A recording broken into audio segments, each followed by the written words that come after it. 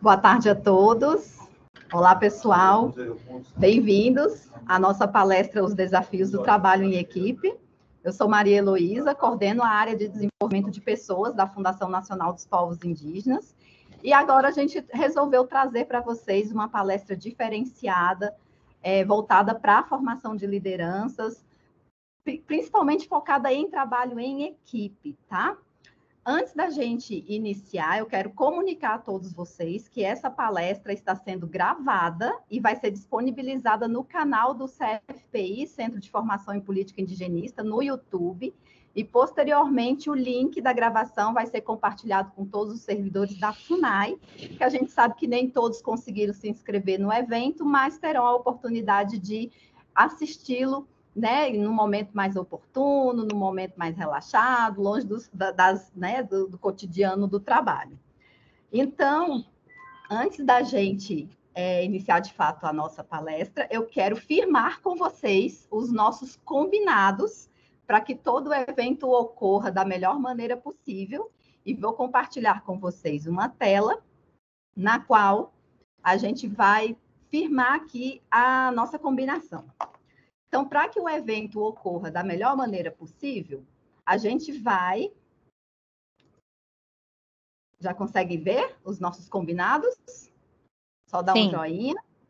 Vamos manter durante todo o momento de exposição do nosso evento os microfones desligados para evitar que potenciais ruídos no ambiente de trabalho de vocês possa tirar a atenção da nossa palestrante, possa tirar a atenção de quem está assistindo a palestra e possa ser um incômodo aqui para todos nós na nossa sala virtual, tá?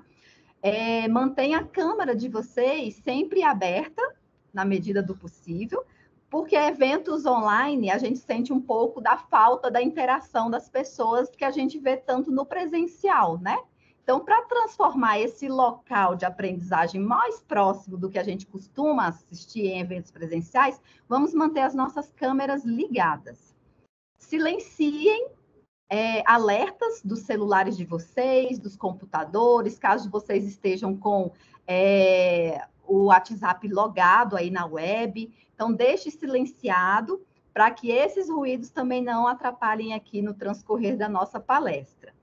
Mantenham próximo a vocês aí água, é, outras coisas que vocês acharem necessário. E vou dar uma dica aqui: caneta e papel. Mantenham caneta e papel próximo a vocês, porque essa palestra é muito instrutiva. Então, não perca a chance de anotar aquilo que você entendeu como mais importante, mais relevante para vocês, enquanto papel de líder e de chefe de equipe, ou ainda como membro de equipe porque o trabalho em equipe ele se retroalimenta, né, entre chefe, entre colegas de trabalho, colegas da mesma equipe. Então anotem aquilo que vocês achar mais interessante. Se não quiser anotar, já deixa aberto aí no seu computador uma página em branco do Word, porque você pode tirar print da tela daquele momento que você achou mais interessante e vai colando no seu arquivo de Word, montando o seu relato de palestra, tá certo? É, vamos respeitar as orientações do facilitador, a opinião dos demais colegas, porque na palestra a gente vai ter um momento de interação, vai ser a oportunidade de quem está assistindo trazer suas experiências, trazer comentários para o conteúdo que foi é, tratado aqui no nosso evento. Então, as opiniões precisam ser respeitadas. É, conectar com antecedência para testar as conexões, eu acredito que boa parte já fez isso, né? Tinha bastante pessoas já aguardando o início da palestra aqui. E reações, reajam durante a palestra, né? O Microsoft Teams aqui, a plataforma, ela tem a opção de reagir, que é a forma da gente visualizar como vocês estão é, é, enxergando essa palestra, como que está essa audiência, se está gostando, se não está gostando. Então, tem as opções de reagir localizada logo acima aí da sua tela, no quarto ícone, né? Tem o ícone reagir. Então, vocês podem utilizar essa opção para demonstrar o que, que vocês estão sentindo conforme a exposição for realizada, tá bom? Então, vou encerrar aqui é, é, essa primeira slide. Mais uma orientação para vocês. Esta é uma ação de desenvolvimento em serviço com direito a certificado. É uma ação de desenvolvimento em serviço, porque para participar desse evento não foi necessário conceder nenhum tipo de afastamento para os servidores, porque não compromete a carga horária de vocês, certo? Então, lá na folha de frequência de vocês, aqueles que se inscreveram, coloquem o código de frequência 394 e lá no campo de observação da sua folha de frequência, cite qual é o nome do evento que você participou e a quantidade de horas que você se dedicou para essa capacitação, para essa palestra. É uma palestra com cerca de duas horas né, de evento, uma hora de exposição, meia hora de, de debate. Então, a gente vai ter mais ou menos umas duas horas, já contando aqui essa parte inicial, tá bom? Então, vocês registrem na folha de frequência o código 394 e no campo de observação, cita o nome do evento e a quantidade de horas que você se dedicou na data de hoje para essa capacitação.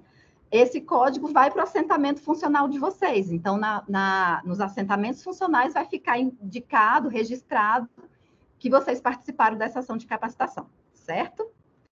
Bom, agora eu queria falar um pouquinho sobre finanças. Não. Estratégia? Também não. Tecnologia? Muito menos. O trabalho em equipe continua sendo a vantagem competitiva definitiva, precisamente por ser tão poderoso e, ao mesmo tempo, tão raro.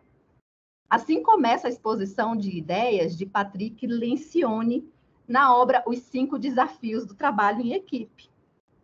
Desenvolver trabalho em equipe não é uma tarefa fácil até mesmo porque esses relacionamentos exigem de nós uma habilidade de saber lidar com as pessoas. E principalmente fazer com que as pessoas, no contexto do trabalho, consigam fazer essa interação. Porém, mais indispensável do que a gente manter essas interações é a gente conseguir construir uma cultura organizacional onde as pessoas, dentro de suas respectivas equipes, estejam remando na mesma direção, de modo a conseguir alcançar os mesmos objetivos. Toda a equipe, a gente sabe, é composta por humanos imperfeitos. E são essas nossas imperfeições que nos tornam iguais. Somos todos imperfeitos, não é verdade? E exatamente por conta dessas nossas imperfeições, as equipes de trabalho são inerentemente disfuncionais. E essas disfunções identificadas nas equipes se revelam, por muitas vezes, como verdadeiros desafios, tanto para quem gerencia aquela equipe, para quem lidera aquela equipe, quanto também para quem faz parte dessa equipe, né, entre seus pares cabendo a todos é, adotar posturas que, de fato, tentem superar. É só eu que não estou ouvindo? Ah. Todos, todos conseguem me ouvir? Talvez Sim. seja, talvez seja só a Lorena acho que, que falhou para mim. Desculpa, Elô, é, para mim ah, não estava. Tá certo, tá certo. Então, superar esses, esses desafios que são observados no trabalho em equipe é, é por si só uma tarefa difícil, né? Então, conhecer quais são esses desafios é importante para nós enquanto pessoas que gerenciam equipes e é importante para nós enquanto pessoas que fazem parte de uma mesma equipe. Por quê?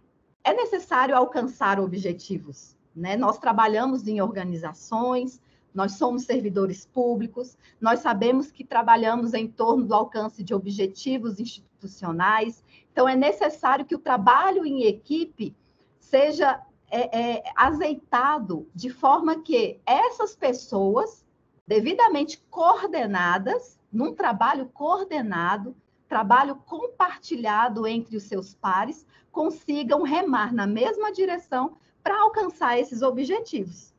E para falar um pouco dos desafios do trabalho em equipe, eu convido a servidora Antonieta Barros de Oliveira, assistente administrativo da FUNAI desde 1986, trazendo em sua bagagem de 20 anos de atuação em gestão de pessoas, um pouco do seu conhecimento adquirido e construído ao longo de toda a sua carreira profissional e acadêmica.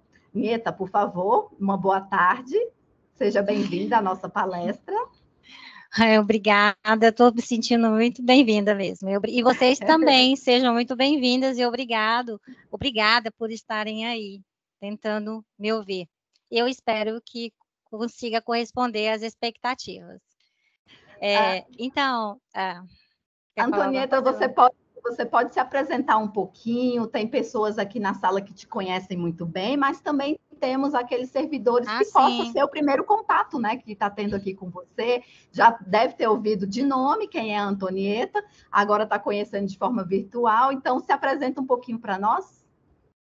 Então, eu sou Antonieta Barros, né, como a Elo já falou, né, eu estou na FUNAI desde 86, já atuei há mais de, mais de 20 anos na área de gestão de pessoas, é, como coordenadora de administração de pessoal, né, COAP, e fui depois para gestão estratégica, coordenação geral de gestão estratégica em 2005, fiquei até fiquei por cinco anos como coordenadora de planejamento e modernização, e fui depois disso para auditoria, trabalhei lá uns dois anos, né, tive uma outra oportunidade de conhecer outras novas pessoas e um novo trabalho, né, é, e foi uma experiência muito boa para mim. Né? Então, assim, essa questão da liderança, ela já vem me acompanhando há muitos anos. E é um tema, é um tema que eu sempre gostei, porque eu sempre me questionei, será que eu será que eu estou sendo boa bastante? Ou será que eu estou né, conseguindo é, é, gerir é, a minha equipe porque eu assim sempre me senti muito responsável, né? Enquanto eu fui coordenadora, eu sempre me senti muito responsável pela equipe. Mas então aprendi muito com as pessoas com quem eu convivi. Eu assim ensinei um pouco, acredito que eu tenha ensinado um pouco também, mas foi uma troca muito justa, muito certa. Não tem certo e errado, cometi muitos erros, né? Aprendi muita coisa, é, acertei também, tive alguns acertos, porque não é fácil, é um desafio mesmo você, né, ser líder, né, você coordenar, você ser chefe de uma equipe de pessoas, e você ter pessoas sob sua responsabilidade, né? E é um trabalho que é muito compartilhado. A equipe, é, no caso, é, liderança não é só o líder, né? É, é, o, é a equipe como um todo, né? O líder e a equipe, todos têm participação e, e responsabilidades. É, então, como esse tema ele me agrada, me agrada muito, me acompanha há muitos anos, eu sempre gostei. Eu fiz um curso né, de especialização na ENAP, de, é, o curso é de é, Pessoas, Inovações e Resultados, e nesse curso, no trabalho de, no trabalho de, de conclusão do curso, eu optei em fazer essa pesquisa né, do livro, né, do, do Patrick Lencioni, que eu achei muito interessante, né, é, as cinco disfunções, os desafios, né, de uma equipe de trabalho, que é o que a gente enfrenta todos os dias, né. E aí, é, nessa pesquisa, é, é eu, eu é, essa, é, aí eu já, peraí, Deixa eu voltar aqui, desculpa. É, Henrique, você pode passar o slide? Você já quer iniciar a sua palestra, Nieta? Sim, sim. Certo. Então, a gente a gente está no nosso staff aqui, com os servidores da CODEP, o Henrique vai ficar aqui na operação dos slides, e nós temos a Mônica também, que está acompanhando o chat. Então, durante a exposição, caso vocês tenham alguma ideia a ser colocada, não queiram perder aquela ideia para expor novamente ali no momento em que a, é, é, for aberta a interação, né? Pode ir colocando aí no chat que a Mônica está acompanhando, certo? E nós vamos ver agora os desafios do trabalho em equipe com a servidora Antonieta. Ela já começou a dar uns spoilers ali da apresentação dela, agora com o material de suporte compartilhado aí para vocês, vai ficar mais é, fácil, né? Para a gente entender o que, que é essa experiência que a Anieta quer trazer para nós e o estudo de caso que ela é, aplicou também, né? Com uma unidade organizacional aqui da FUNAI, que ela vai falar durante aí a exposição. Nieta, microfone todo seu. Desculpa, gente, é porque eu me perdi, porque eu estava falando e acabou me apresentando e já comecei a entrar no, no tema, mas na verdade é, eu tinha que aguardar, Elô. Desculpa, viu? Foi uma precipitação minha. Então, a gente está tão afinado aí que a Elô também já começou a falar, né, de criar uma cultura, né, em que todos os funcionários estejam seguindo na mesma direção, né? Esse é, esse é um tema do Lencione Patrick. Ele fala que criar uma cultura em que todos os funcionários estejam seguindo na mesma direção é um desafio para, uma, para a equipe e a instituição. Então, como as, as equipes elas são compostas por indivíduos incompletos, ela, elas são inerentemente disfuncionais indivíduos incompletos, pessoas incompletas, né? Que nós temos, são pessoas que cada um tem uma, a sua afinidade, cada um tem uma competência, cada uma tem uma, uma é, como é que eu posso dizer? É, é, uma habilidade. Então, essas habilidades, essas competências, elas se juntam, e quando elas se juntam entre as pessoas, a gente forma, né, uma equipe onde cada um, né, tem uma habilidade e, e, a gente, e, e são capazes, competências para exercer aquelas atividades, aquelas funções que lhes são impostas. Henrique, por favor. É, Henrique, pode, pode passar, por favor. Então, é, na parte teórica, é, Patrick Licione, ele identificou cinco disfunções em equipes de trabalho, que normalmente causam problemas interligados a gente pode representá-la como uma pirâmide, que porque a falta de confiança, né, é, ela é a primeira disfunção. E se ela não for tratada, nós teremos aí o medo de conflitos, que vai para a falta de comprometimento, evitar responsabilizar o outro e a falta de atenção aos resultados, que é o último da pirâmide, que são os cinco, os cinco desafios, né, de uma equipe que a gente tem enfrentar, vem enfrentar. Henrique, por favor. Aí uma forma da gente ver, é, no caso, para, para Lencione, a suscetibilidade a apenas uma, uma disfunção pode prejudicar o sucesso de toda a equipe. Então, para melhor entendermos isso, a gente pode ver como que uma equipe coesa, né, ela se comporta. Então, ela, com, elas confiam uns nos outros, envolvem em conflitos nos quais tudo é debatido, comprometem com decisões de planos de ação, chamam atenção dos colegas quando esses agem contra os planos estabelecidos e focam no alcance dos objet de objetivos coletivos. Henrique, por favor. Então, na parte prática, é, o objetivo do, do, do artigo, do, do trabalho, né, de, do curso de especialização, ele foi para avaliar a suscetibilidade da equipe de trabalho da auditoria interna. Ah, no, falando um pouco né, da equipe, a equipe da Udin é, era uma equipe é, em 2021, ela tinha nove servidores, né, cujas idades variavam de 30 a 63 anos, é, distribuídos entre assessoria, duas coordenações e dois serviços. Equipe com diferentes níveis de conhecimento e de experiências que atuava conjuntamente há pouco mais de um ano, né? E o diferencial disso é que a unidade, a auditoria interna da FUNAI, ela é uma unidade com processos de trabalho bem definidos. Então, isso facilitou muito né, o trabalho lá que foi feito de campo. Quando você tem os processos organizados, é muito mais fácil você distribuir e trabalhar em equipe. Então, podemos seguir, por favor. Então, da coleta de dados, foram em dois momentos, né? O primeiro momento, ele contou com a participação voluntária, né? Preenchimento de formulário eletrônico autoexplicativo, disponibilizado pelo Google Forms.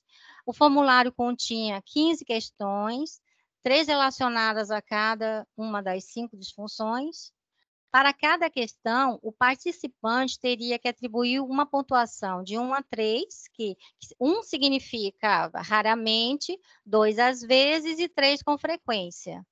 E no segundo momento, a gente fez entrevista remota, né, com forma complementar, para poder ouvir as pessoas, né, eu ouvi um, ouvir cada uma né, dos membros da equipe. A, a média para cada disfunção, ela foi dada, é um critério né, do, do Patrick Lencioni, que ele trata de 8 a 9 pontos é provável, né, quando, quando se tem oito ou nove pontos, é provável que a, que a respectiva disfunção não seja um problema em, seu, em sua equipe. De seis ou, ou sete pontos, a disfunção pode ser um problema. De três a cinco, é sinal de que as disfunções precisam ser trabalhadas. Henrique, por favor. Então, e a, na, na pirâmide, a primeira disfunção que nós temos é a falta de confiança. Segundo Lencioni, a confiança ela é a certeza entre os integrantes de uma equipe de que todos têm boas intenções e que não há motivos para ficar na defensiva ou ter reservas em relação ao grupo. Quando falta confiança, os integrantes não se sentem seguras para demonstrar vulnerabilidade e tema admitir erros, dúvidas e preocupações ou pedir ajuda. É, não é fácil demonstrar vulnerabilidade, né? Isso não, não né, ele, ele, ele vai se construindo aos poucos, né? Tem várias formas de você ser demonstrar essa vulnerabilidade na sua equipe, mas para isso, né, precisa é, haver a confiança, haver vários, várias, várias questões que, que a gente precisa sentir, né, com, com as pessoas. Evitam-se essas nesses casos, né, evitam-se evitam se abrir um com os outros por medo de retaliação ou consequências negativas, por não se sentirem seguros para se expressar livremente que é a questão da segurança psicológica, né? A pessoa, se, não, se ela não tiver a segurança psicológica, ela não, ela não consegue, ela não, ela não vai se expressar, ela não vai falar, né? Ela vai ter medo, vai ter medo de retaliação, de consequências que possam ser negativas. É, o próximo passo é, é gente, assim, é, eu comecei é porque eu me acabei me perdendo um pouco no, no início, e aí, assim, eu não fiz a, a uma introdução é, de como que eu ia apresentar. Desculpa, no caso, são três questões, né? A primeira é que eu vou falar, né, da, da do conceito, né, da, da disfunção. Depois eu, eu vou falar para vocês como que a gente pode, de acordo com a, as sugestões do autor do livro, que é o Patrick Lencioni, como é que a gente pode é, estimular a confiança de uma equipe. E, e a terceira é falar da pesquisa, tá? Que foi feita em campo junto à auditoria interna, tá? Isso acho que não ficou claro no início, desculpa. Então, agora, depois eu falei sobre a, a falta de confiança, que foi a primeira primeira disfunção, e vou dizer a sugestão do autor para estimular a confiança entre a equipe. Então, como, como que a gente, como que faria isso? Crie um ambiente que facilite assumir a vulnerabilidade, erros, medos, dúvidas, fraquezas, sem punição. Dê o exemplo e seja o primeiro a demonstrar suas próprias vulnerabilidades. Crie oportunidades de compartilharem suas histórias e de perceberem os outros como seres humanos, sem ser invasivo. Use ferramentas adequadas que deem às pessoas a oportunidade de entender o seu perfil e preferências e competência. Isso é muito importante. É, a gente teve essa oportunidade quando a gente começou a trabalhar na auditoria, que era uma equipe muito nova. É, a, a nossa coordenadora, a Elaine, ela fez uma dinâmica com a gente que eu acho que me marcou muito, porque a gente foi uma dinâmica mais baseada, não foi exatamente é uma dessa, é um desses tipos de dinâmica que a gente vê o perfil da pessoa, a competência. E assim, quando a gente vê o perfil de cada um que trabalha com você, quando a gente vê a competência, a gente passa a conhecer melhor a pessoa, né? Passa a confiar até mais melhor nela e entender mais essa pessoa, né? Acho que vai criando um laço mais de um laço mais de, de um vínculo, né, de pessoal, de uma relação mais inter pessoal. E a dica que o Lencioni dá para a gente também é que o programa de avaliação de 360 graus, que não é uma forma de medir desempenho, é um instrumento de feedback e de desenvolvimento pessoal, né? É você dar o feedback, né, para o outro, né, do, do que como que ele está indo, se ele está indo bem, se ele não está indo bem, né? Eu acho que todos nós gostamos de, de ouvir isso, né? De ter um feedback de como que a gente está indo, se, eu estou fazendo meu trabalho bem, se eu não estou fazendo meu trabalho bem, avaliar todo mundo, os pares, né? Todos todos envolvidos, né? Não só o, a, o líder, como os, os liderados, os membros da, da equipe, mas os pares, todos. É, Henrique, por favor. Então, essa, a, a, essa foi a, a, primeira disfunção do trabalho que foi feito. É, foram três questões né, para essa disfunção, onde teve, tivemos nove participantes, está todo mundo conseguindo visualizar. É, se, tiver indo, se eu estiver indo muito rápido, por favor, avisa, é, é, que aí eu vou maneirando. É, então, nós tivemos então a participação de nove membros, e dessas pontuações aqui nós temos, né, a, de, é, aqui embaixo o, o total, né, dos, dos pontos, né, entre as perguntas aqui, é, nós tivemos um total de 67 e uma média de 7,4. Por favor, Henrique. Então, como a gente teve aqui mais de, nós tivemos 2,7 e 1,6, então, assim, para essa disfunção, a disfunção, a média da equipe da Udin foi de 7,4 pontos. Mostra que a equipe está indo bem, mas carece de atenção. Essa disfunção, ela pode ser um problema. Para isso, o grau de, da confiança no vínculo pessoal, relação interpessoal entre seus membros, precisa aumentar um pouco mais. Aí, na percepção dos integrantes, que foi da conversa que eu tive, das entrevistas com eles, ficou, né, assim, nítido é, da percepção deles que há confiança no trabalho e que o que dificultou maior interação, entrosamento e integração entre os membros da equipe foi o fato de ser uma equipe recém-formada e que estava em trabalho de, de, trabalho remoto, né, que foi bem na época da pandemia, né, esse período. Esse desafio é, foi reconhecido, está sendo enfrentado. A gestão estava buscando meios de fortalecer os laços pessoais e profissionais, criando um ambiente favorável e seguro, estimulando a se manifestarem no grupo sem a preocupação de ofender colegas com as críticas. É, Henrique, por favor.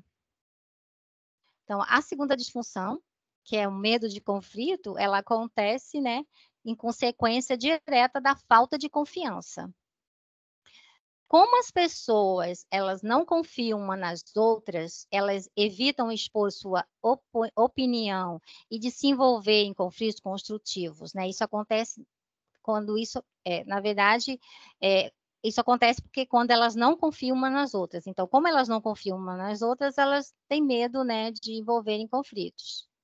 As equipes que têm medo de conflito, elas têm reuniões maçantes, né, vamos dizer chatas, né, tornam os ambientes favoráveis a politicagens e agressões pessoais, omitem questões contra, controversas que são necessários para o sucesso da equipe, não buscam todas as opiniões e perspectivas dos membros da equipe e desperdiçam tempo administrando riscos interpessoais, que são né, aquelas conversas paralelas e fofocas é, e problemas pessoais que, de, que é um acusando o outro.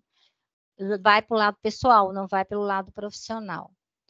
Então, as sugestões do autor para estimular a, os integrantes da equipe a se envolverem em conflitos construtivos é desconstruir a ideia de que o conflito é algo sempre negativo ou que gera falta de eficiência. A gente, a gente acha que o conflito ele é negativo, né? mas não é.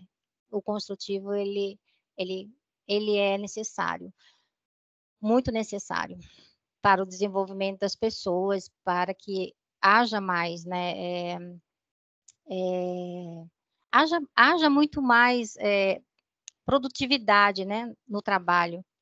Demonstre que demonstre que o conflito construtivo ajuda a criar soluções melhores e permite identificar antecipadamente riscos, problemas ou, ou ajustes necessários, que é o que eu já estava falando, né?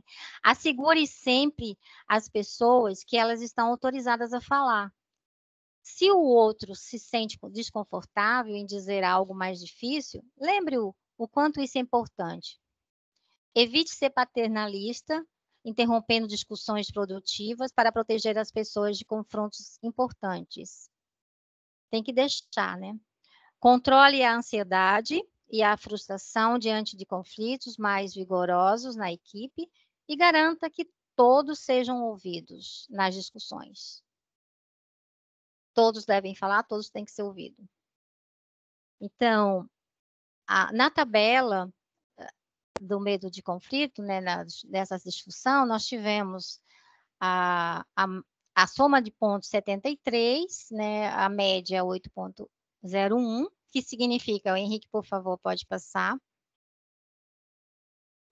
que esse total obtido, essa pontuação, ela está bem próxima da nota máxima.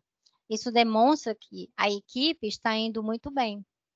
Agora, na percepção dos membros, havia dificuldades né, do líder em acolher as ideias, o ambiente tornou-se mais favorável após mudança do líder. As pessoas se sentem mais seguras para se envolverem em debates, por saberem que suas ideias serão ouvidas e consideradas. Os participantes ainda estão se adaptando às reuniões virtuais, mas reconhecem a necessidade de objetividade nas, com pautas definidas para otimizarem o tempo e o foco. Essa foi a percepção das pessoas na entrevista. Eu, eu fiz assim uma, eu na verdade eu compilei essa, essa a percepção de cada um e, e coloquei muitas vezes se repetiam, né? Eu coloquei fiz só um resumo. Então a terceira disfunção, falta do comprometimento. Por medo de conflitos saudáveis, questões importantes não são debatidas pela equipe, privando as pessoas da oportunidade de entender o que foi posto e de expressar a sua opinião. Por não se sentirem ouvidas ou não ter clareza sobre cenários futuros, prioridades e direção, as pessoas têm mais dificuldades em se comprometer com as decisões, apesar de concordar com, com tudo na reunião. É, então, ela concorda, né, mas ela, ela não não, se não houver uma transparência aí do que foi, né, do que foi tratado, do que foi, porque às vezes o chefe, o líder, ele, ele toma uma decisão, ele, ele ele fala, não, é, ouve o que você o que você está dizendo, mas não concorda com o que você está dizendo, mas também não te dá um feedback, não diz por que, que não concorda com aquilo, né? Não te não dá transparência, porque aquela opinião não pode ser melhor do que a do que a que foi dita. Então, assim, isso quando não há essa transparência, fica a, a gente a pessoa dela né, fica sentida em, em não e não querer, né, participar e se recolhe, porque ela não, ela não vê que há necessidade desse comprometimento. Aí, mas o comprometimento, ele não depende necessariamente do consenso, quer dizer, nem todos precisam concordar com tudo. Não é necessário. Mas a busca da unanimidade é, na verdade, uma armadilha que pode haver, pode levar as equipes à estagnação, né, à paralisação. As pessoas elas são capazes de se engajar, mesmo em, em ideias com as quais não concordavam, desde que se sintam respeitadas e percebam transparência nas decisões de comunicação, que é o que eu estava tentando dizer, que é, se tiver transparência na comunicação, né, das decisões, ela pode pode se comprometer sim, porque ela vai concordar, né, com o que foi colocado. É, Henrique, por favor.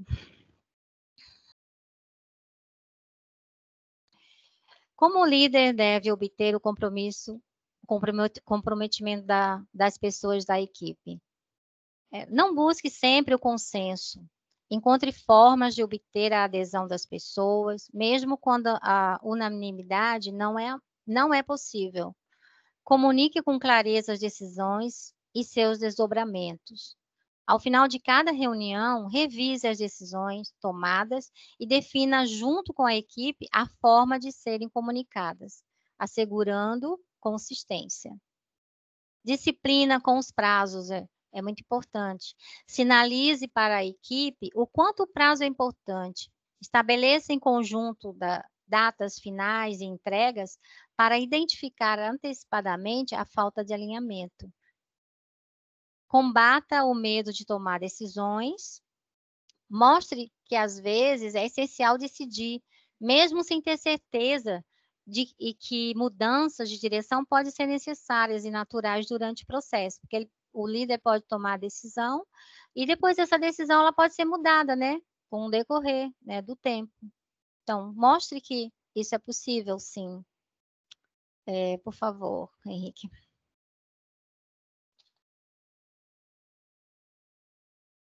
A tabela 3, né, aqui está o resultado né, da, das respostas da auditoria do, dos membros.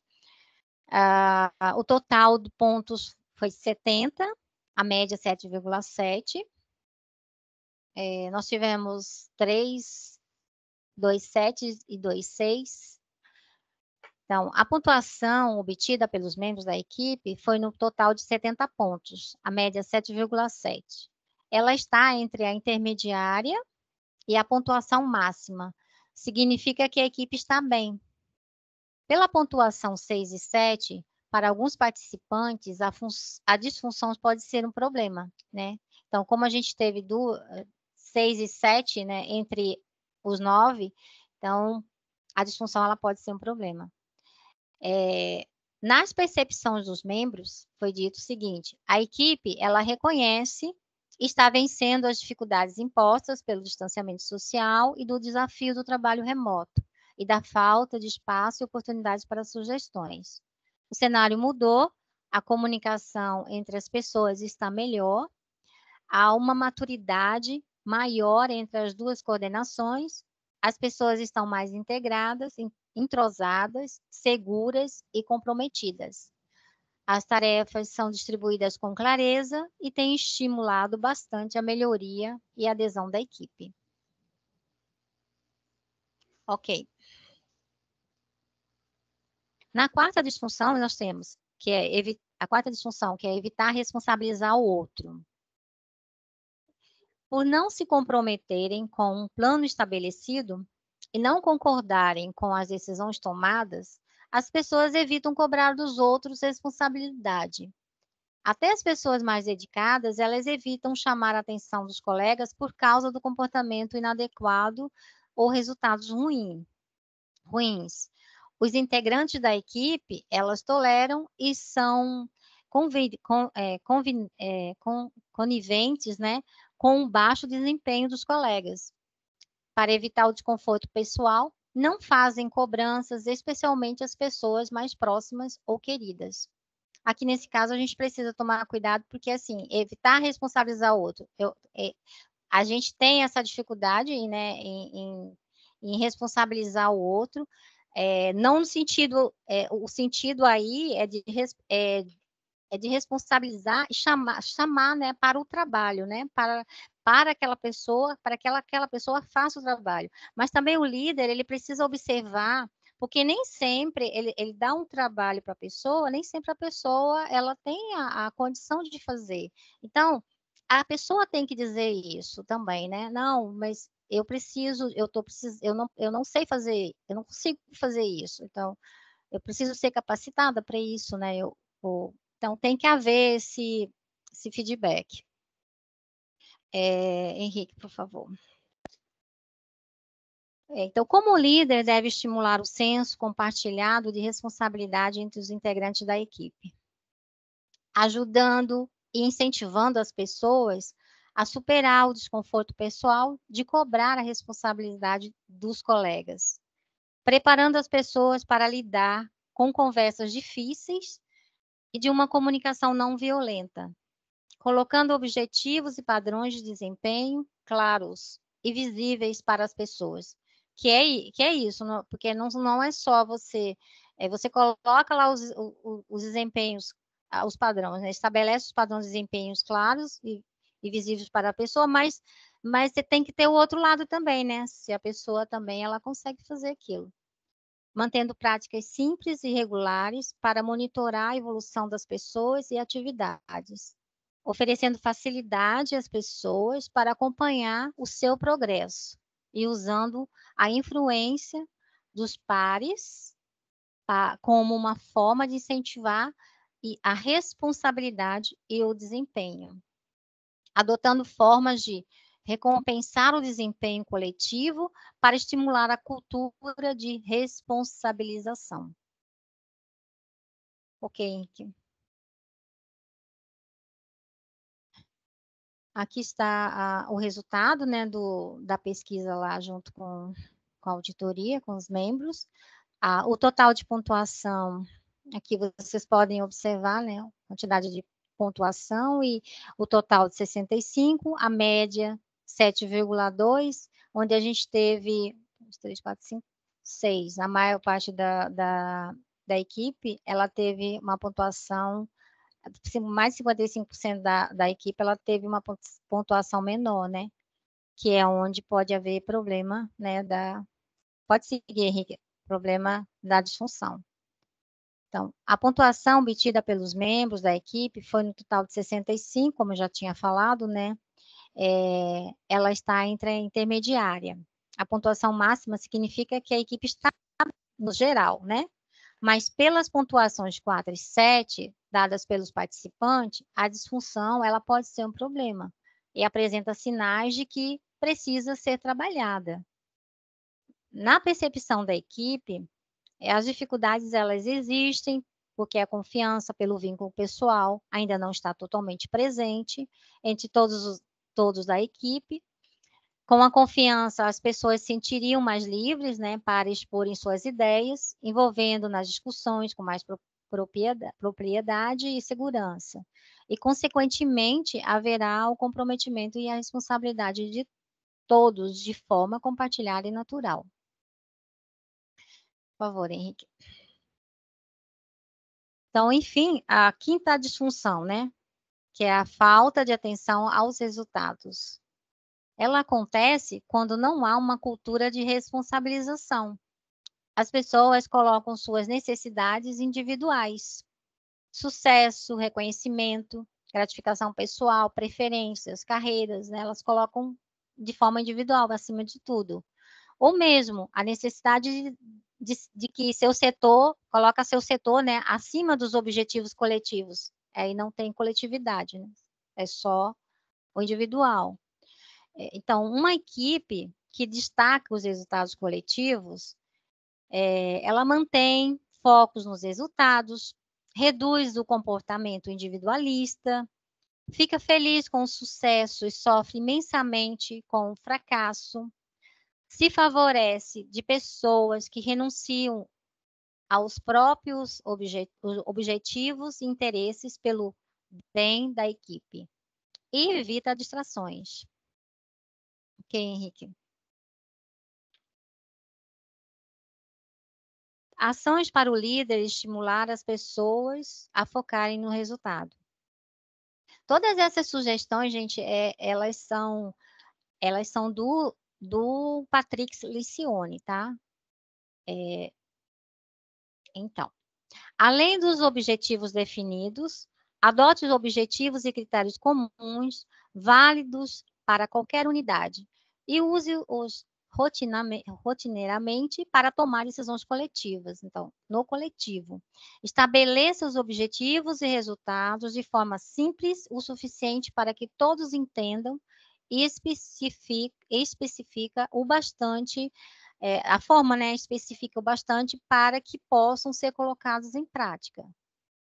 Junto com a equipe, comprometa-se publicamente com os resultados. Tenha metas de longo prazo e adote indicadores e medidas de direção que permitam acompanhar para onde o resultado está caminhando. Adote formas justas de valorizar e recompensar os bons resultados essa, essa forma justa de valorizar e recompensar, assim, nós não temos na, na administração pública uma regra, né, de para recompensar servidores de forma financeira, né? Mas ela pode ser uma forma de o, o líder ele pode adotar uma forma, uma forma de valorizar e recompensar no coletivo, tá? Não individual. As pessoas promovendo, né, um encontrozinho, fazendo um bolinho, né, leva para é uma, né, das formas, né, mas tem várias, né, vários tipos de, de forma que pode ser comemorada, né. Mas para isso o ambiente ele tem que estar tá muito favorável, né, tem que estar tá todo mundo integrado, todo mundo é, em harmonia, né, sintonizado, para valer a pena. A tabela 5, a disfunção, a quinta disfunção é a falta de da falta de atenção aos resultados, nós podemos ver aqui é, da nota que foi dada pela, pelos membros, nós tivemos um total de ponto de 67 e a média 7,4. Que, Henrique, por favor. A pontuação obtida pelos membros né, foi tal, é, está entre a intermediária e a pontuação máxima. Significa que a equipe está bem. Pelas percepções dos cinco membros, porque nós tivemos cinco membros ali, como pode ser visto né, na tabela, a população de sete, é, cinco membros que atingiram a pontuação sete nas três perguntas. A disfunção pode ser, nesse caso, a disfunção ela pode ser um problema, né? É, isso tudo está sendo baseado naqueles critérios de pontos, isso ficou claro para vocês, né? que tem uma tabela que eu já mostrei inicialmente, né, que tem a pontuação, cada uma pontuação quer dizer uma coisa, quer dizer um, um critério. Na percepção da equipe, eh, os coordenadores e membros reconhecem que há pontos a serem melhorados e trabalhados para que essa disfunção não, não aconteça e prejudique o trabalho. Esse desafio é o resultado final de todos os outros, e, e todos eles é, levam a esta disfunção. Então, a colaboração da equipe avaliada. A equipe destacou na entrevista implicações que prejudicarão e afetarão o desempenho e a qualidade do trabalho em equipe e o alcance dos resultados esperados se as disfunções não forem corrigidas. Elas são sobrecarga de trabalho, desmotivação, rotatividade dos servidores, afastamentos, reuniões sem objetividade, sem pauta definida perde o foco e causa ansiedade. Enfraquecimento do grupo enquanto equipe, a falta de companheirismo e, consequentemente, a baixa na produtividade da atividade e sensação de exclusão por parte de algum membro da equipe. Então, essa foi, a, essa foi as implicações que a equipe colocou. Então, aí agora, a, as considerações é, finais. Segundo Lencioni, independentemente dos resultados obtidos, é relevante considerar que toda equipe precisa de trabalho contínuo, pois sem ele, os melhores grupos se tornam disfuncionais, né? Então, se não houver, né? Se não houver, mesmo um, mesmo sendo funcional, se não houver trabalho contínuo, ela pode se tornar disfuncionais. E todas aquelas, né, a, a, falta de confiança, o medo de conflito, elas podem, né, vir à tona, ela, elas podem surgir. Então, elas vão se tornando disfuncionais. Então, muita atenção nisso também. E aqui a gente tem essa imagem que quer dizer para a gente o seguinte: estamos aqui a equipe e o líder tem, um, tem que haver um equilíbrio, né? Tanto o líder como as pessoas, elas é um conjunto, né? Elas, elas, o sucesso depende tanto do líder como das pessoas, né? Então é o sucesso ou o insucesso, né? O inverso. Mas assim, mas o líder ele tem o maior, né? Ele tem maior ele tem maior responsabilidade, né? Porque o líder é que ele tem, ele tem a responsabilidade de, de, de gerir a sua equipe, né? De prover, de, de, de trazer, criar oportunidades para que ela, né? Ela cresça, ela, ela sinta, criar ambientes que ela sinta confiável, né? Que ela tenha segurança. Tudo isso vem do líder, né? E os membros juntos vão o sucesso, então, ele vem, o sucesso ou insucesso, ele depende muito do líder e da equipe que faz parte da, da equipe, das, dos integrantes da equipe.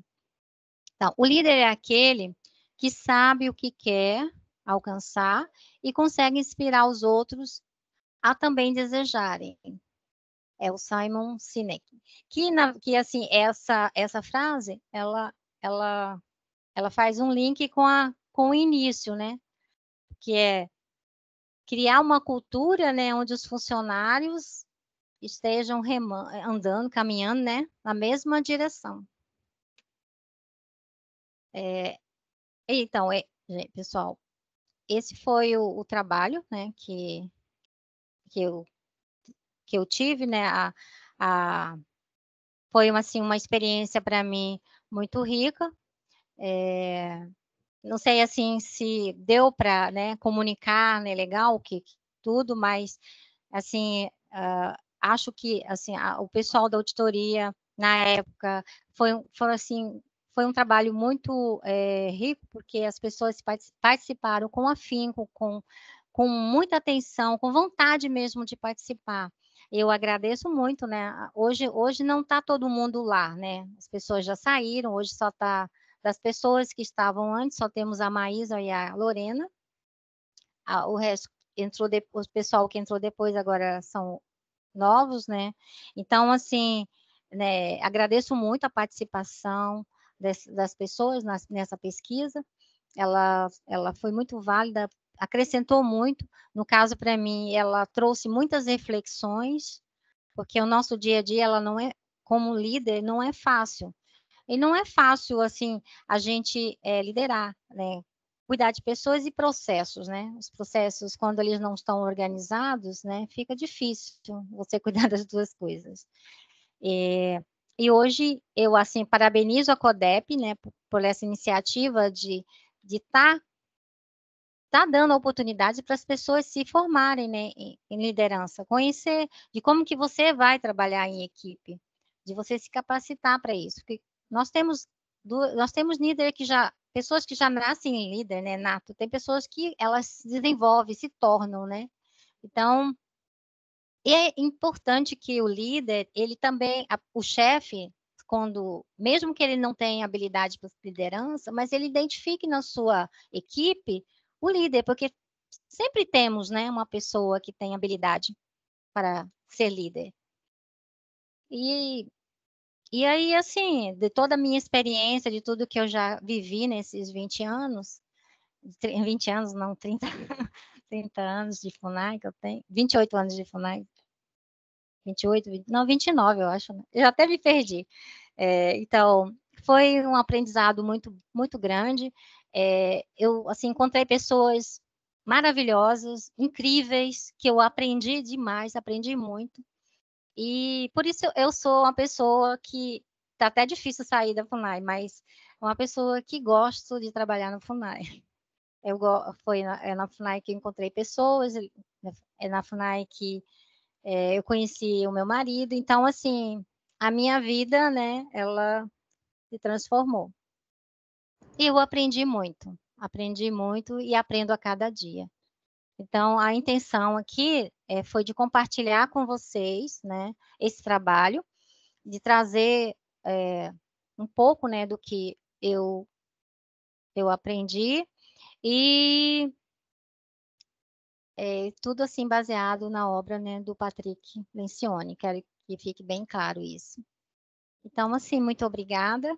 É, eu não sei agora, a gente a gente segue. Eu estou no horário ainda, Agora a gente vai abrir, Nieta, aqui as exposições, né, de quem participou, mas antes, Nieta, parabéns pelo seu trabalho, parabéns por ter aplicado essa teoria na prática, né, utilizando o teu ambiente de trabalho, que à época era a auditoria interna da FUNAI, porque isso validou a tua pesquisa acadêmica, né? Você teve acesso a todo um conhecimento construído por Patrick Lencioni, a gente percebe ali que Patrick ele é muito didático ao trazer esses conhecimentos, né? Porque ele, ele consegue identificar cinco disfunções, relembrando aqui, né, para quem acompanhou as cinco disfunções: a ausência de confiança, o medo do conflito, a falta de comprometimento, evitar a responsabilidade e falta de atenção aos resultados. O resultado. Então, evitar responsabilizar traz... o outro, tá? Isso. Ele traz as cinco disfunções, só que ele também estabelece uma métrica, né, para identificar se aquela disfunção que é identificada na equipe de trabalho, ela de fato, naquele momento, está representando um problema efetivo que precisa ser superado, ou se não, se ela existe, não. até porque lá no nosso começo da palestra nós falamos o quê? Nós somos humanos imperfeitos. Sim. Né? E as disfunções são inerentes às equipes, justamente porque equipes são compostas por pessoas imperfeitas. E ao longo do nosso trabalho, a gente vai tentando ao máximo trabalhar, desenvolver as nossas perfeições, os nossos potenciais, mas em nenhum momento nós vamos chegar ao nível de ser 100% perfeitos. Então, ele estabeleceu Não. essas métricas justamente para identificar se a disfunção reconhecida é um problema que precisa ser superado entre todas as pessoas que compõem aquela equipe, e isso não exclui o líder da equipe, ou se não, se podemos continuar caminhando juntos no mesmo caminho para alcançar os objetivos que são estabelecidos para aquela equipe. Eu acho interessante, Nieta, quando no começo da tua fala, você falou muito a respeito da vulnerabilidade, quando estávamos comentando ali sobre a, a, o primeiro, a primeira disfunção, né, que é a ausência de confiança. E quando nós conseguimos nos colocar num papel ou, ou, numa posição de vulnerabilidade, é, é, simplesmente a gente reconhecer que seja eu enquanto líder ou você como membro de equipe, nós não sabemos tudo, né? Uma das questões que a gente visualiza muito nos ambientes de trabalho são os membros de equipe é, é, terem aquela, aquele senso comum de que o seu chefe sabe tudo e que ele deveria, por si só, estabelecer as regras, as diretrizes, o que ele diz é certo, a experiência que ele traz. A experiência que ele traz não, não, é, não é o único fator que vai colocar ele como a pessoa que sabe tudo, mas sim a pessoa que tem a agregar. Tem uma, uma reflexão é, que fala a respeito da troca de ideias, né? Se você vem com uma pedra e o outro também, né? Você joga a sua pedra, vão os dois embora um sem a pedra e o outro machucado. Mas quando você traz o seu conhecimento e o outro também traz, vão embora os dois com três, quatro, cinco conhecimentos, porque essa troca permite que as equipes, tanto os membros quanto o, liderar, o, o líder, é, é, consigam construir conjuntamente novos caminhos. Né? E aí a gente até lembra do medo do conflito, que é a segunda disfunção o conflito não é sobre você. O conflito é não. é sobre a ideia que está é. sendo colocada. Por isso, o conflito construtivo, porque ele tem que girar em torno das ideias colocadas, não é em torno das pessoas, de quem colocou aquela ideia. Muitas pessoas, por vezes, se sentem um pouco atacados quando ele coloca né, a, a, a ideia à, à, à disposição e a ideia, às vezes, não é acatada, é trabalhada de outra forma, mas isso é a construção coletiva, é a construção do, de, de, de uma nova proposta para o grupo. Isso não é sobre pessoas, é sobre ideias. Então, conflitos precisam sim existir nas equipes. Os conflitos saudáveis são exatamente esses, em que gira em torno de opções, de ideias, de colocações, e aí, Nieta, com base em todas as disfunções que forem verificadas e sabendo que ao longo de toda a sua carreira você fez parte de uma série de equipes de trabalho, afinal de contas, 28, 29 anos de carreira, você já passou por inúmeras equipes. É, em algum momento durante as suas pesquisas, você, você conseguiu olhar para trás e reconhecer que em determinado momento a tua equipe estava exatamente de frente com algum desses, alguma dessas disfunções? Sim. Sim, a gente, a gente vivenci, vivenciou muito, né? A, a, acontece muito, né, nas mudanças, principalmente nas mudanças, né, de gestão. É, as pessoas, elas ficam um, um pouco, assim, é, aflitas, ansiosas, né, se é como que vai ser, é, e aí a gente começa um trabalho e, e esse trabalho ele não vai para frente, ele muda tudo, né? E aí assim a, a, gente tem que começar de novo tudo.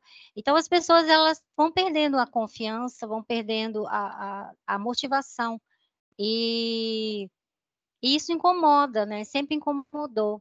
E a gente tem muito, muito isso. A gente tem muito, muita falta de confiança. A gente tem muito, é, muita, a, o medo de conflito. As pessoas elas não, não falam, elas não querem se expor, se expor, porque elas têm medos, né? Medo de depois o que ela vou falar for usado contra ela mesma, que vai muito pelo lado pessoal, não pelo lado do, da ideia do trabalho do que a gente está discutindo né? Então, assim, eu já, já vivenciei muito isso. Então, essa ideia, essa vontade de fazer essa pesquisa foi para tentar também é, identificar esse, essas essas, essas, essas vidas que eu já vivi, essas questões que eu já vivi, vivenciei como, como coordenador, é, como chefe, como líder, é, e tentar ver, né, como que realmente tentar entender, né, como que a gente pode é, valorizar melhor as pessoas, porque para mim, assim, as pessoas são, as, são a, é a parte mais importante que tem, né, na instituição. Sem elas, a gente não consegue fazer nada. Sem as pessoas, a gente não consegue. A, a gente não consegue seguir, a gente não consegue ir para frente. Então, é, mas esse laço, essa, essa essas, essas oportunidades que essas questões é, favoráveis ou negativas que a gente tem, né, durante todo o percurso, né, de uma jornada, elas acontecem. Esses desafios estão aí, elas são impostos, né, e, e a gente tem que estar tá preparado para lidar com isso, que não é simples, não é fácil, é difícil, né, é, na teoria é fácil do que foi falado aqui, foi colocado, é tudo fácil. A teoria, né, não parece que você olha assim, parece, não, é, é simples, né? É simples assim. Mas não é, gente, porque a gente trabalha com a emoção, né? A gente tem sentimento, né? A gente trabalha com pessoas, né? Como já foi dito, as pessoas elas são, é, elas não são, elas são incompletas mesmo. Elas, né? Cada um, né? Tem, tem a sua particularidade, tem seu problema, né? É, tem a questão pessoal, questão profissional. É, então, não é, não é fácil isso mesmo, é, é difícil, mas, mas tentar superar, tentar é, criar meios né, de, de tentar resolver isso, eu acho que já é um caminho, né, um passo para a gente seguir. Sim, e na, teoria, e na teoria realmente parece ser simples, né? Inclusive, toda essa metodologia trabalhada por Patrick Lencioni parece ser simples, mas na prática, né, como você fez o seu estudo de caso, você teve que é, lançar mão de algumas ferramentas justamente para conseguir aplicar essa metodologia lá naquela unidade organizacional que era a auditoria, né? Você fez uso de questionários para poder é, é, dar encaminhamento ali Sim. nas entrevistas. A partir do resultado dessas entrevistas, você fazer as pontuações que foram colocadas aqui durante a apresentação. Então, eu queria ouvir agora, Anieta, se pudermos, algum servidor que esteja participando aqui da palestra, mas que tenha, é, é, na prática, vivenciado todo esse trabalho que você desempenhou no estudo de caso. Se nós tivermos algum servidor da auditoria interna presente aqui que possa dar uma palavrinha sobre o trabalho que foi desenvolvido, o trabalho prático, né, que foi desenvolvido lá na auditoria interna? Alguém? Sim. Maísa, olá Maísa, tudo bem? Bem-vinda. Fala para nós, Maísa, qual foi a tua experiência enquanto participante desse trabalho prático que a Antonieta aplicou na auditoria interna, fazendo parte ali do estudo de caso dela para o trabalho acadêmico dela. Então, primeiro eu quero agradecer a participação. Eu estou de férias, mas para prestigiar a Anieta, eu abro uma exceção. Estou em São Paulo, aqui na casa dos meus pais. Primeiro, eu quero dizer que foi um prazer Quem me entrevistou a Anieta para ir para a FUNAI, que eu sou do Ministério do Turismo, estou requisitada há oito anos na FUNAI, foi a Anieta e a Ângela, então é uma pessoa que eu tenho um grande respeito e admiração, e uma pessoa que eu me inspiro, né, como servidora, como pessoa.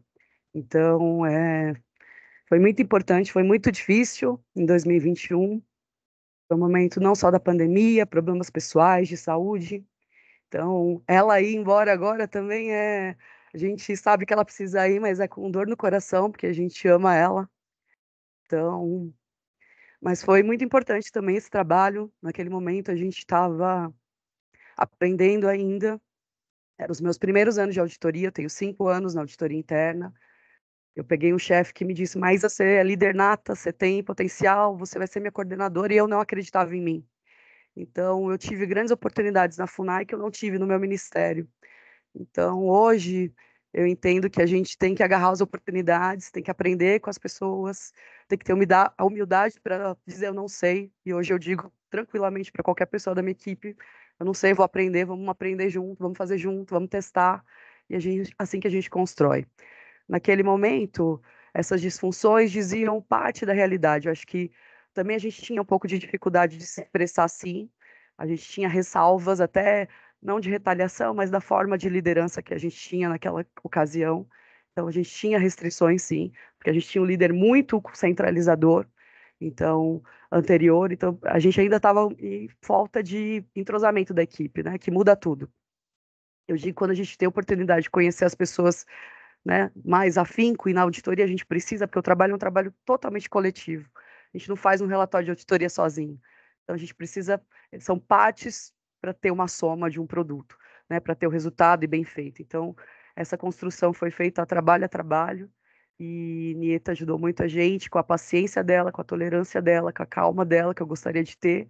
Eu não tenho ainda, tenho que melhorar muito espiritualmente, mas para ter isso, para chegar nesse nível de pessoa, mas eh, foi um prazer enorme e acho que cada disfunção dessa, que a gente ficou com nota entre 7,5 e 8,1, diz muito da realidade e também coloca a gente numa perspectiva de pensar do que tá, o que está acontecendo, porque o outro não tem, não expressa opinião. Eu, pessoalmente, sou uma pessoa que gosto de dar minha opinião, tenho uma opinião muito, é, eu digo, até ortodoxa das coisas, então eu preciso ser convencida, ao contrário, eu peguei pessoas também que me convencem ao contrário, eu gosto que eles me desafiem, acho isso fantástico, gosto de gente que me questione, não gosto de dado como certo. Então, para mim, é um prazer quando as pessoas é, têm oportunidade, têm liberdade. Então, hoje, falo hoje na gestão do Wallace, que a gente tem liberdade, a gente constrói as coisas coletivamente. Então, nesse trabalho não ficou só por isso. A, a, gente acabou não retomando ele, retomou agora, até pensando no trabalho da Nieta na apresentação. Acho que a gente podia fazer uma segunda rodada aqui de reavaliar a nossa pontuação com o cenário atual, né, 2021 para 2024. Eu acho que já é um cenário um pouco melhor, a gente tem mais consciência do que a gente está fazendo, mais segurança do que está fazendo, e realmente trabalhar com pares, que a gente pode conflitar, pode questionar, e te questione e tem liberdade para isso, faz toda a diferença no trabalho. Então, hoje a gente tem essa liberdade, a equipe, mesmo tem pessoas novas que entraram um ano, há poucos meses, mas a gente já tem uma forma de procedimento muito estruturada que nos garante também um trabalho de qualidade. Então, também facilita ter procedimentos, roteiros, mapeamento de processo. A Lorena também é grande parte disso, que ajuda muito a gente com a experiência que ela teve na CGGE. E cada um que teve experiências aqui, que também somam na equipe, são pessoas de formação muito diferente, mas que só agregam. Então, foi um prazer enorme. E acho que quem perde é a FUNAI, mas quem ganha, eu falo que onde ela estiver, ela vai ganhar. Seja em prestação de serviço social, onde ela for trabalhar, eu tenho certeza que ela é uma trabalhadora da terra. Então, ela vai continuar emanando bem para onde ela estiver. Então, é um prazer enorme. Obrigada, Maísa, pelos seus apontamentos aqui. Eu achei interessante Obrigada, quando você Maísa. falou a respeito de líder centralizador. É, fazendo uma analogia aqui com o time de futebol, né? Time de futebol. Qual que é o segredo do time de futebol? É a estrela do campo ali brilhar e a estrela jogar contra o outro time? Ou é o time onde aquela estrela está envolvida jogar contra o outro time, né? Essa, essa questão de todos brilharem é a essência do trabalho em equipe. E o líder fica onde? O líder protagonista. O líder protagonista, ele não está acima da equipe e ele não está à frente da equipe, ele está por trás. O trabalho do líder que é protagonista, que quer ver a sua equipe brilhar, é por trás da cortina. Quem fica no palco, brilhando, mostrando o, o, os resultados, é a equipe. Então, a nossa postura enquanto chefe de equipe é dar as oportunidades para que as pessoas da nossa equipe brilhem, para que as pessoas da nossa equipe tragam ideias, para que as pessoas da nossa equipe sintam-se é, participantes de uma construção que é coletiva, para que elas tenham confiança em estabelecer vínculos, em expor situações, em expor ideias, em colaborar um com o outro, cada um podendo, é, da maneira é, é, que for possível, suprir a falta do outro, as deficiências do outro, porque, novamente, somos imperfeitos e são nas nossas imperfeições que a gente consegue alcançar os nossos resultados.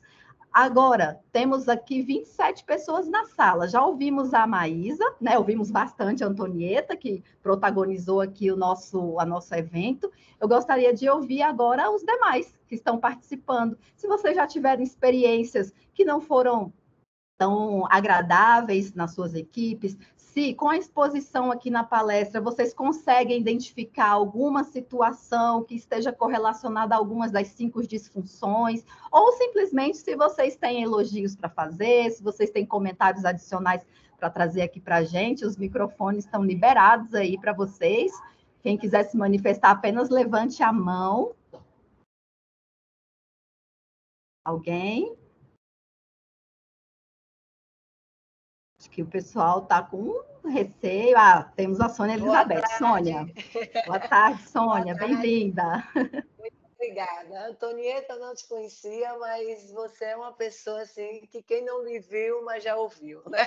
Falar sobre você. Obrigada pela oportunidade. E dentro dos pontos identificados, o que eu trabalho na coordenação Baixo São Francisco, né? E dentro do meu tempo de trabalho na FUNAI, também estou com 30 anos dentro da FUNAI, e o que eu mais sinto é que é como se criassem vícios, não é? Quanto mais tempo se tem de casa, mais as pessoas se acham no direito de não se dar mais ao envolvimento com o trabalho. Então, essas situações, quando a gente vai avaliar, eu acho assim muito delicada, não é? Essa transparência dos resultados, se de fato aquele servidor está contribuindo com o trabalho de equipe, né?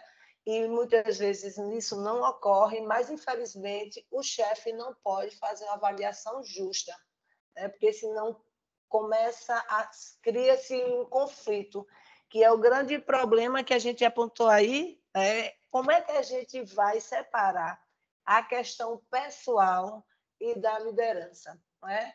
porque nem sempre as pessoas estão prontas para encarar e se auto-reconhecer né, nas suas limitações. Tá? Então, é, foi, eu quis colocar isso porque é uma das coisas que me incomoda em termos de liderança. Né? Eu atuo aqui no SADISC, é, mas a gente encontra sempre esse, essa dificuldade dessa transparência, essa autoavaliação do servidor também, né? acaba sendo uma responsabilidade recaindo somente para o chefe, quando o servidor não se autoavalia. Muito obrigada. Sônia, interessante essa sua colocação. É, e agora a pergunta vai para o líder, vai para o chefe numa situação como essa, qual, qual, qual foi a opção que o chefe encontrou para resolver? Né? Será que ele procurou saber se o envolvimento daquele liderado não está contento, porque as atividades que a ele foram atribuídas não têm, de certa forma, uma aproximação com as expectativas profissionais daquele servidor? Será que a quantidade de metas que foram colocadas para aquele servidor ultrapassam em muito as possibilidades que ele tem de entregar resultados? Qual é a calibração que vem sendo feita ao longo do tempo, durante todo um processo avaliativo? Nós, enquanto servidores, somos submetidos a processos de avaliação de desempenho. Mas o erro, ou melhor, a falha, está em realizar a avaliação de desempenho somente quando ocorre o encerramento do ciclo. Quando é que é avaliado o desempenho dos servidores? No dia 1 a 15 de julho do ano. Tem agora uma avaliação parcial, que ocorre no mês de janeiro. Mas esses são apenas os únicos momentos que o chefe precisa acompanhar o trabalho que o liderado está desempenhando, que o chefe precisa estar junto dos membros da sua equipe para verificar quais são as dificuldades que estão surgindo, quais são as necessidades de redirecionar rotas, o papel do líder é de estar perto e presente na sua equipe, é de conhecer cada um dos potenciais que estão ali envolvidos para saber para qual deles vou delegar determinada atividade, porque o perfil dele é mais compatível com aquela atividade se ele está, de repente, numa unidade organizacional que precisa desempenhar tarefas de campo, mas as habilidades próprias daquele servidor não o permitem desenvolver bons trabalhos de campo, eu, como líder, tenho que identificar isso e tenho que propor uma alocação de tarefas mais adequadas para o perfil profissional daquela pessoa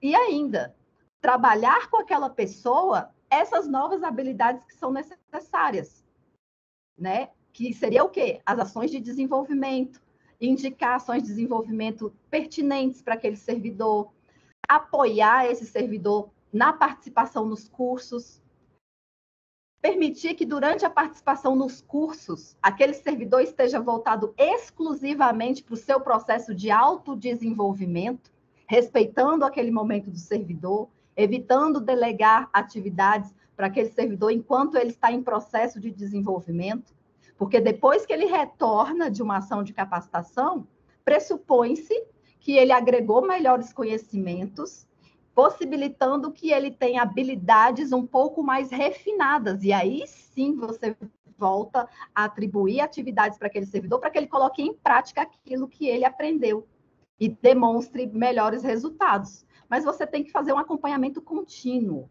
A avaliação de pessoas não ocorre em momentos estanques na vida funcional. É cotidiano, é todo dia, é estar tá presente, é estar tá perto, é ver como que está o progresso das atividades, é ver aonde está a dificuldade daquele servidor, é sentar junto, é reunir a equipe, porque ninguém brilha sozinho, é reunir a equipe e propor soluções novas em conjunto para que todos tenham um senso de pertencimento àquela equipe, porque como falamos, o líder, ele está sempre por trás. Quem brilha é a equipe, mas o fato dele estar por trás não significa que ele está que ele deve ocupar uma posição alheia ao que está acontecendo, ele tem que estar acompanhando, certo? Então, o servidor apresentou essa dificuldade de demonstrar resultados, qual que é o papel do líder? É estar tá junto. É, é, é, chegar junto do seu liderado, é chegar junto da sua equipe e fazer uma calibração.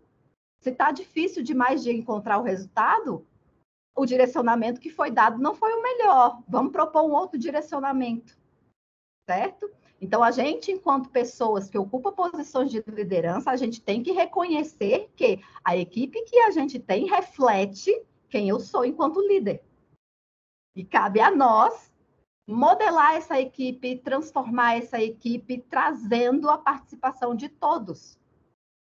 Então, não, não assumam a postura de esperar mais do outro. Coloque o seu papel de líder em prática conduza, dê feedbacks, chame para reuniões coletivas, definam rotas em conjunto, olha para o teu planejamento estratégico, a instituição está né, em vias aí de liberar um planejamento estratégico, inclusive nessa semana passada, a CGGE já divulgou para todo mundo que o planejamento, a prévia né, do planejamento estratégico está ali para a gente participar novamente. Né? Se for necessário reorganizar alguma das metas, reformular metas, indicadores, o momento está aberto. E quando o planejamento estratégico estiver fechado, o trabalho das equipes é com foco quê? No que está na estratégia do órgão. É olhar para o que está na estratégia, ver como que a gente vai traçar os nossos caminhos para alcançar os objetivos, todo mundo remando na mesma direção. E o seu papel de líder, para todos que têm aqui, é, é, ocupam aqui funções de liderança, né? O seu papel de líder é estar junto da sua equipe. É olhar todos juntos aonde vocês querem chegar e traçar as estratégias conjuntas, certo? É, a, a, nossa, a nossa palestra vai ficar gravada e a gente vai divulgar é, o link da gravação para vocês, juntamente com um resumo, certo? Dos, das cinco disfunções. Eu vou, vou tentar ao máximo lembrar de encaminhar para vocês com, com esse resumo, tá bom? É, mais alguma pessoa que queira se manifestar? Não? Bom, já que nós não temos mais participações aqui, eu vou compartilhar com vocês uma relação de ações de desenvolvimento, uma curadoria que a CODEP aqui realizou, para que vocês possam participar dessas outras capacitações indicadas e aprimorar ainda mais a atuação de vocês como chefes de equipe, como líderes. A gente vai fazer esse caminho juntos aqui, porque vocês vão encontrar essa relação no site da FUNAI. Então, a gente vai seguir o caminho aqui juntos. Todo mundo consegue enxergar aí o site da FUNAI?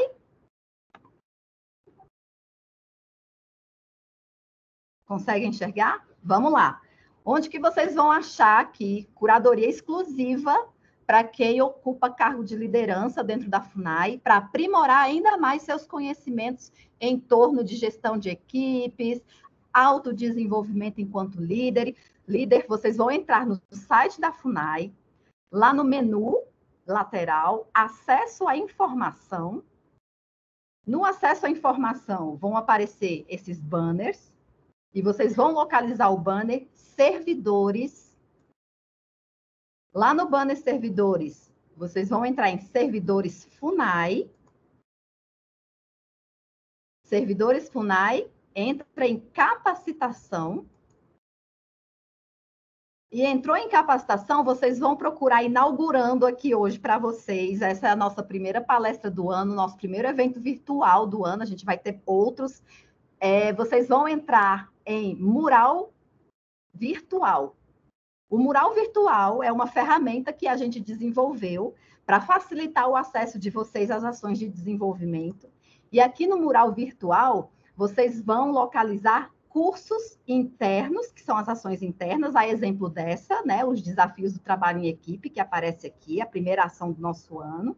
Vocês vão identificar também os cursos selecionados por nós aqui da área de desenvolvimento de pessoas, com base no nosso programa, no nosso plano de desenvolvimento de pessoas, o PDP 2024.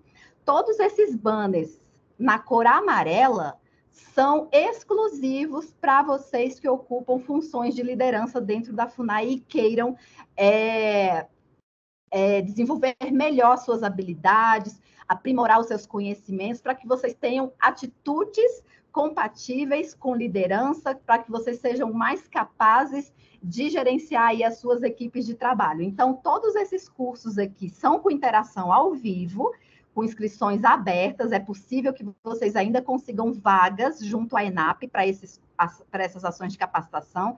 Então, aqui a gente tem relações interpessoais e feedback com inscrições abertas até o dia 14. Bom, infelizmente esse aqui já passou, né? Desenvolvimento de equipes, habilidades de comunicação interpessoal no ambiente de trabalho, atuação estratégicas em equipes de gestão de pessoas, habilidades de gestão de pessoas.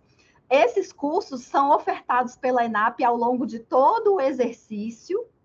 Caso a turma não esteja aberta, vocês vão ter condições, entrando lá no link, ó, vocês vão direto para o site da ENAP, onde vocês vão ver quais são as próximas turmas com inscrições abertas também, certo? Aqui a gente tem só uma turma agora, dia 26 a 4 de março, mas acompanhem sempre o mural virtual, que vocês vão ver novas ações de desenvolvimento sendo colocadas aqui.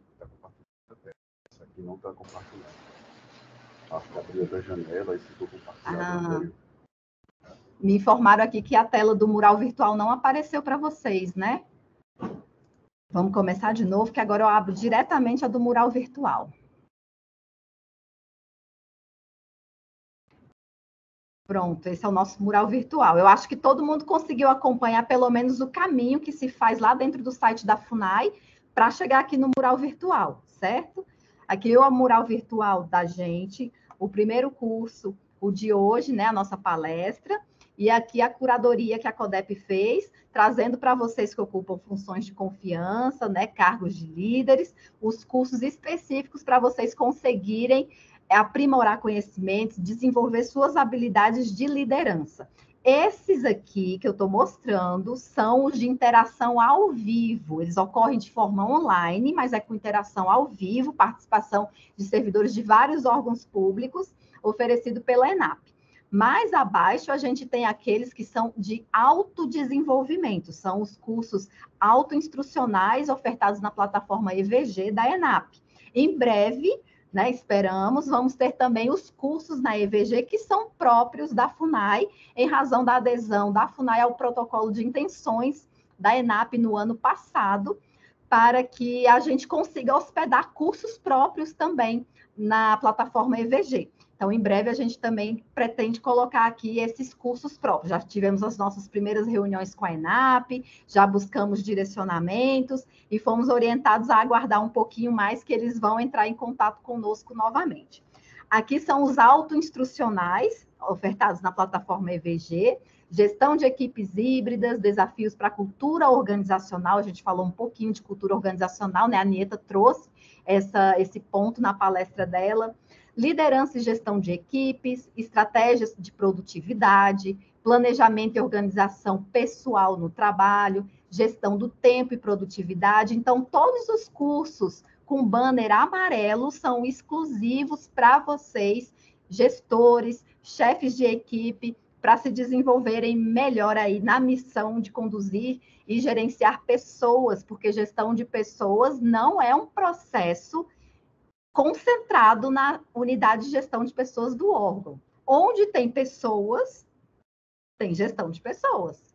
Onde há grupos de pessoas, é necessário gerenciar esses grupos e esses trabalhos que são desempenhados por esses grupos, por essas equipes. Tudo bem? Então, esse é o nosso mural virtual. A gente também vai divulgar ele para vocês é, com a gravação da palestra, tá bom? Então, já são três divulgações conjuntas no mesmo e-mail institucional para vocês: a gravação da palestra, o resumo das cinco disfunções e o link do nosso mural virtual, que também já está disponível lá no site da FUNAI, ok? Nieta, eu agradeço muito a participação sua aqui conosco. Muito obrigado por ter trazido para nós os seus conhecimentos, ter compartilhado conosco. Certamente muitos de nós vamos focar mais nessas cinco disfunções, vamos buscar maneiras né, de implementar estratégias em nossas equipes para avaliar como estão essas cinco disfunções.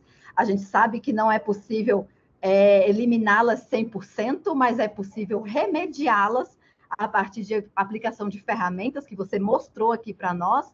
Então, eu agradeço demais ah, por ter aceitado esse convite da CODEP, inaugurando aí o nosso ano de ações de desenvolvimento e de execução do plano de desenvolvimento de pessoas.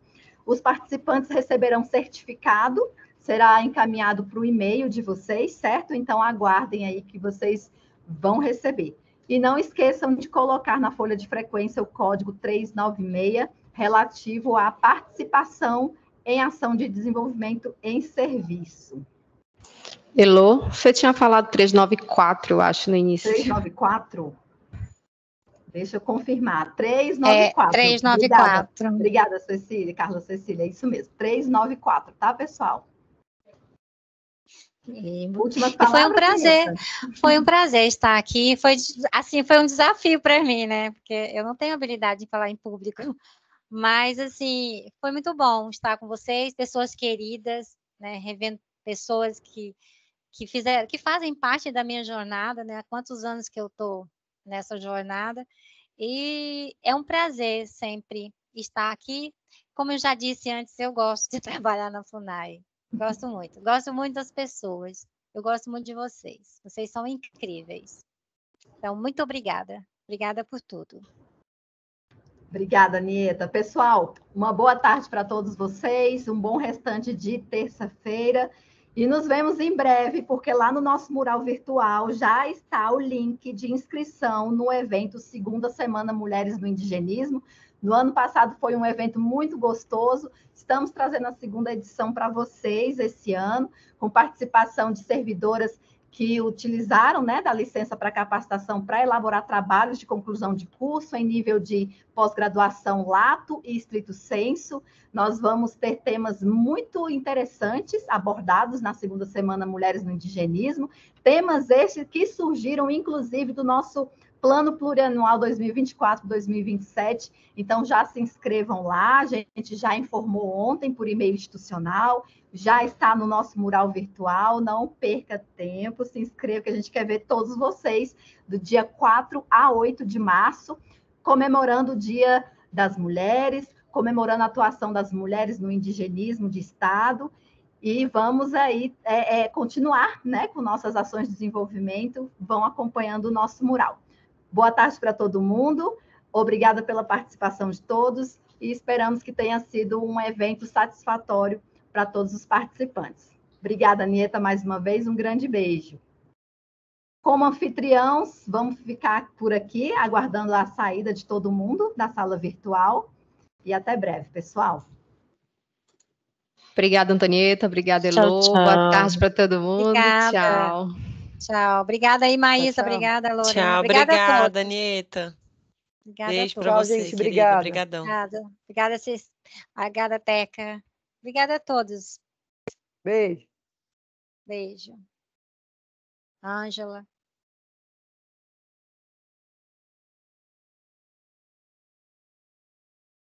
Eu tenho que sair também ou eu